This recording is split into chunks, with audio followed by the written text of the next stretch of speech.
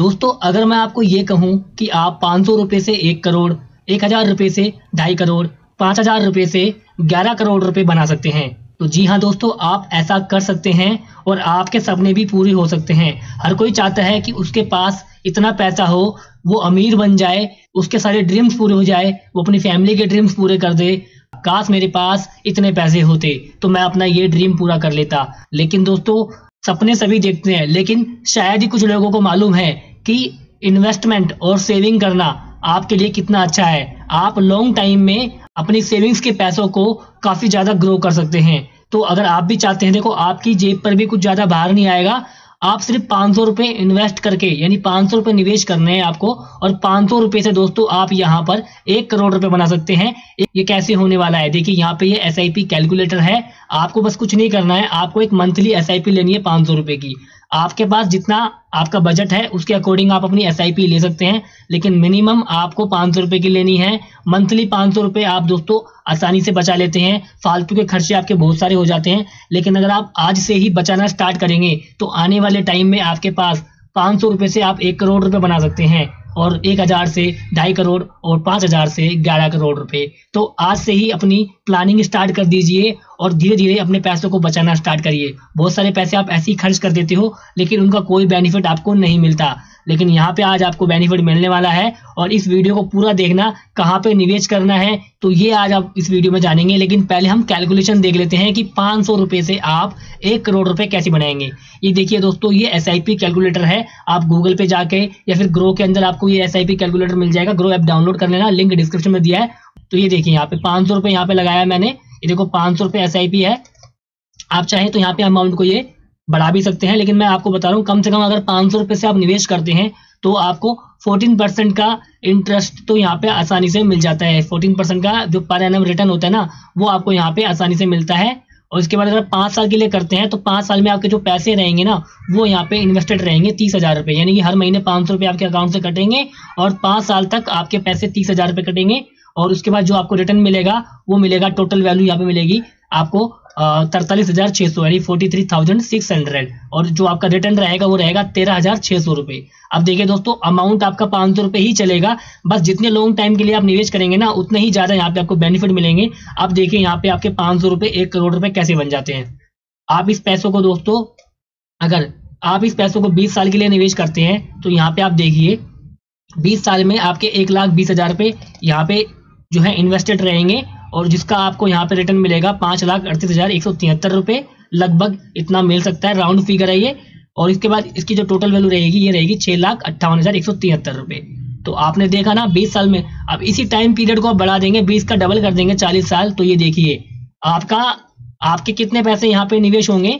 दो लाख चालीस हज़ार रुपए। अब दो लाख चालीस हज़ार रुपए आपके जुड़ जाएँगे। चालीस साल में पाँच पाँच सौ रुपए अगर आप जोड़ेंगे हर महीने के तो दो लाख चालीस चालीस लाख रुपए आपके यहाँ पे होते हैं, जिसका रिटर्न आपको मिलेगा एक करोड़ दस लाख सड़सठ हज़ार पाँच सौ बानवे रुपए। और इससे ज़्यादा का रिटर्न आपको मिलता है तो ये पैसे आपके और भी ज़्यादा हो सकते हैं। दोस्तों, आपको यहाँ पे दो लाख चालीस हज़ार रुपए के एक करोड़ रुपए से ऊपर की यहाँ पे आपको रिटर्न मिलेगा।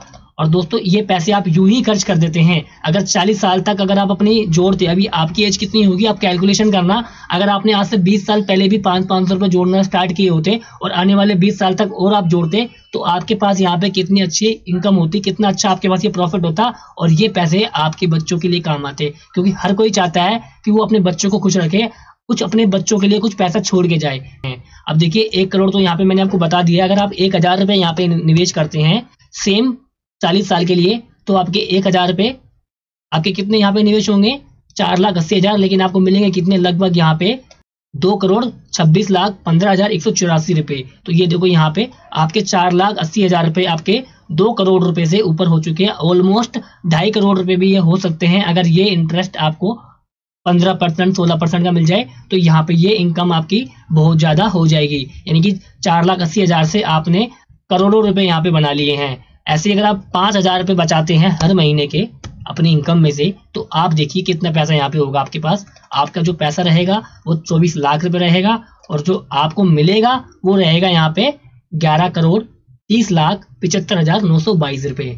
और ये देखो आपने चौबीस लाख के यहाँ पे ग्यारह करोड़ रुपए। कितना परसेंट यहाँ पे रिटर्न ये कंपाउंडिंग पावर है टाइम की। जितना टाइम पीरियड आप यहाँ पे पैसों को रखेंगे उस, उतना ही यहाँ पे आपको बेनिफिट मिलेगा, उतना ही ज़्यादा बेनिफिट यहाँ पे आपको देखने को मिलेगा।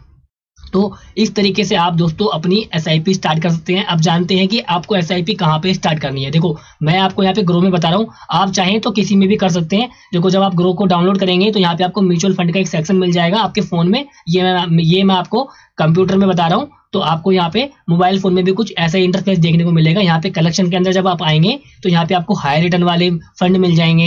S I P with five hundred जिसमें आप पाँच सौ रुपए से स्टार्ट कर सकते हैं। Tax saving fund large cap mid cap small cap अब मैं आपको बता देता हूँ, ये कौन से फंड है?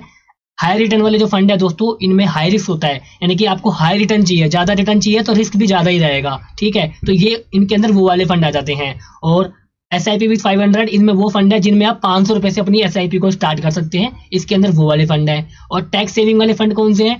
टैक्स सेविंग में अगर आप इनकम टैक्स पेयर हैं, आप सालाना इनकम टैक्स पे करते हैं तो आप क्या कर सकते हैं? अपने इनकम टैक्स को, जो आपका इनकम टैक्स लगता है, डेढ़ लाख रुपए से यहाँ पे सेविंग फंड खरीद सकते हैं, यानी डेढ़ लाख रुपए या डेढ़ लाख से ज़्यादा के सेविंग फंड अगर आप यहाँ से खरीद लेते हैं तो जो भी आपका इनकम टैक्स बनता होगा ना तो उस इनकम टैक्स में आपके डेढ़ लाख रुपए आपको छूट मिल जाएगी, यानी कि आपका टैक्स बाहर कम हो जाएगा अगर आप इन फंड को बाय कर लेते हैं। बस इनके अंदर एक लॉकिंग पीरियड डेट होती है, उस पीरियड डेट में आप दोस्तों इसको सेल नहीं कर सकते, यानी कि जब आपने खरीद लिया तो वो पीरियड डेट आपको मिलती है, उस पीरियड डेट में आपको सेल नहीं करना होगा।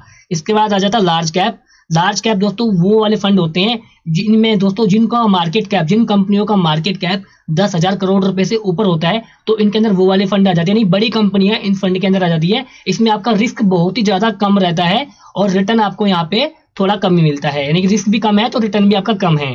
इसके बाद आता है mid cap fund mid cap में क्या होता है कि मिड कैप में जो भी कंपनियों का मार्केट कैप जो कंपनियाँ इसके अंदर हैं, जो फंड इनके अंदर है, उनका जो मार्केट कैप है ना कंपनियों का, दस हज़ार करोड़ रुपए से कम है। तो इसमें वो कंपनियाँ जो मिड कैप में आ जाती हैं। इसमें भी आपका रिस्क थोड़ा सा ज़्यादा रहता है बट हाई हाई रिटर्न वाले से कम है। इसमें सबसे ज़्यादा आपका हाई रिटर्न वाले में है। इसमें थोड़ा कम है, इससे कम इसमें है। तो आप मिड कैप वाले फंड में निवेश कर सकते हैं। इसके बाद आ जाए स्मॉल कैप फंड इसमें वो छोटी कंपनियाँ हैं, वो छोटी कंपनियों के फंड है, जिनका मार्केट कैप जो होता है कंपनियों का जो मार्केट कैप है, कम वो दो हज़ार करोड़ रुपए से कम है। तो इस वाले स्मॉल कैप में भी आपका रिस्क ज़्यादा रहेगा। तो मैं यहाँ पे देखो एस आई फाइव हंड्रेड में जब आप क्लिक करेंगे तो यहाँ पे आप S I P five hundred वाले पे क्लिक करके यहाँ पे पाँच रुपए से इन फंड के अंदर, देखो, जब भी आप किसी फंड को सिलेक्ट करते हैं ना तो उसकी रेटिंग ज़रूर चेक कर लेना। उसकी रेटिंग चार से ऊपर होनी चाहिए। देखो, यहाँ पे चार है, यहाँ पे पाँच है। जिनकी रेटिंग चार से कम है तो उन फंड में आप मत जाना। जिनकी रेटिंग चार और पाँच है, उस फंड में आप यहाँ पे निवेश कर सकते हैं। तो यहाँ पे आप कोई भी एक फंड को सिलेक्ट करने के बाद क्या कर सकते हैं? जैसे मान लीजिए मैं ये एच इंडेक्स का ये फंड लेता हूँ। आप फंड पे क्लिक कर देंगे और उसके बाद यहाँ पे आप अपनी, यहाँ पे आपको ये एसआईपी लेनी है तो आपको क्या करना है? यहाँ पे एसआईपी अमाउंट डाल देना। देखो यहाँ पे एसआईपी अमाउंट दिया हुआ है। अगर आप वन टाइम में निवेश करना चाहते हैं, जैसे वन टाइम में आपके पास अगर पचास हज़ार रुपए पड़े हैं तो आप पचास हज़ार रुपए वन टाइम में निवेश करके छोड़ दीजिए। दस साल, पाँच साल, बीस साल, चालीस साल। तो वो पैसे आपके यहाँ पे इन्वेस्टेड रहेंगे और उस पर जो भी रिटर्न मिलेगा, वो आप लॉन्ग टाइम में यहाँ पे अपना गेन कर सकते हैं। तो मैं यहाँ पे आपको मंथली एसआईपी बता रहा हूँ। तो मंथली एसआईपी पे क्लिक करेंगे यहाँ पे ऊपर और यहाँ पे आप अमाउंट डाल देंगे। तो यहाँ पे देखो मैं पाँच सौ रुपये डालता हूँ। जैसे मैंने आपको बताया था, पाँच सौ से स्टार्ट कर सकते हैं। तो पाँच सौ रुपये यहाँ पे अपना अमाउंट डाल देना, जितने की आप एसआईपी करना चाहते हैं। उसके बाद यहाँ से मंथली एसआईपी डेट सेलेक्ट कर लेंगे। जिस भी डेट को आप यहाँ पे, जैसे आपकी सैलरी दस तारीख को मिलती है तो आप दस तारीख सेलेक्ट कर लेंगे कन्फर्म कर देंगे। उसके बाद यहाँ पे स्टार्ट एसआईपी पे क्लिक कर देंगे। और पेमेंट कर देंगे। पेमेंट में दोस्तों आपका बैंक अकाउंट लिंक होगा या फिर आप UPI payment net banking debit card वो पेमेंट यहाँ पे कर देंगे और उसके बाद जो भी प्रोसेस आपसे मांगेगा, उसको फॉलो करने का अपनी पेमेंट कर देना और उसके बाद एक ऑटो पे का ऑप्शन आता है। ऑटो पे के ऑप्शन में क्या होता है कि आपको उसमें अपनी डिटेल डाल देंगे डेबिट कार्ड की या फिर अपनी नेट बैंकिंग की। वो डिटेल जब आप डाल देंगे तो क्या होगा कि आपकी अकाउंट से हर महीने जो आपने एस ली है, इस वाली डेट को जो आपने सिलेक्ट करी है उस तक, उस डेट पे आपके जो पैसे हैं, हर महीने कटेंगे आपके अकाउंट से। तो आप ऑटो पे को इनेबल कर लीजिए, ताकि आपके अकाउंट से ऑटोमेटिक पैसे कटे। अगर आप इनेबल नहीं करेंगे तो फिर आपको ग्रो के वॉलेट से ही हर महीने आपको एसआईपी में पेमेंट करनी पड़ेगी। तो इससे अगर आपको बचना है, आप खुद से नहीं करना चाहते ऑटोमेटिक कटे तो आप यहाँ पे ऑटो पेमेंट को सिलेक्ट कर लेंगे। तो दोस्तों, इस तरीके से आप जो है एसआईपी कर सकते हैं। और ये देखो, इस फंड ने यहाँ पे एक महीने में कितना रिटर्न दिया है महीने में कितना, एक साल में देखो, यहाँ पे कितना, तीन साल में पच्चीस परसेंट का रिटर्न मैंने आपको बताया था ना, चौदह परसेंट का रिटर्न मिनिमम मैंने आपको बताया था। लेकिन यहाँ पे देखो, अगर आपको रिटर्न बढ़िया मिल जाता है, देखो, इसमें पच्चीस परसेंट का रिटर्न मिला है। यहाँ पे पाँच साल में देखो, बारह परसेंट का रिटर्न है ऑल में देखेंगे तो यहाँ पे बारह परसेंट का। तो मतलब लॉन्ग टाइम में आपको यहाँ पे फोर्टीन परसेंट का रिटर्न तो आपको मिलता ही है। और कहीं आपका फंड अच्छा काम कर जाता है तो वहाँ पे आपको बढ़िया रिटर्न मिल जाता है।